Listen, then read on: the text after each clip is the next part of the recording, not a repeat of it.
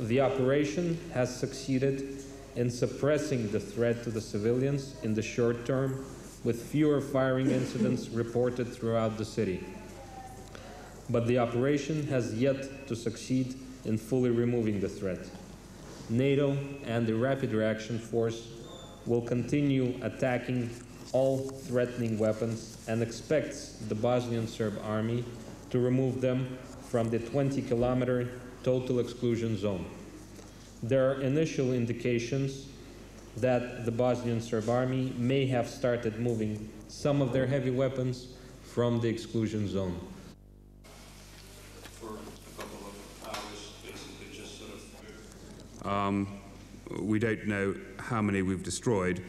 What we do know is the vast majority have been removed from their firing positions and moved into positions of cover in woods, etc., which makes it extremely difficult for us to target them.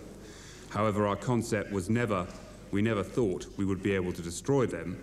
What we are attempting to try and do is by hitting military installations uh, in a wider zone of action, eventually sap uh, the will and resolve of the Bosnian Serb army until they come to the, so, so that they come to the negotiating table and say, we will move uh, our heavy weapons outside the 20 kilometre zone.